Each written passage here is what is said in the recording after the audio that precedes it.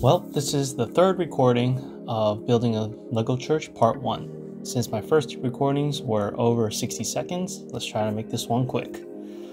So I have the foundation laid down here and I decided to build some diagonal supporting walls and here I am just trying out different pieces and layering them up. I wanted to incorporate both round and jagged elements. So here are some bricks that I'm just laying on top of each other that um, I think it's interesting.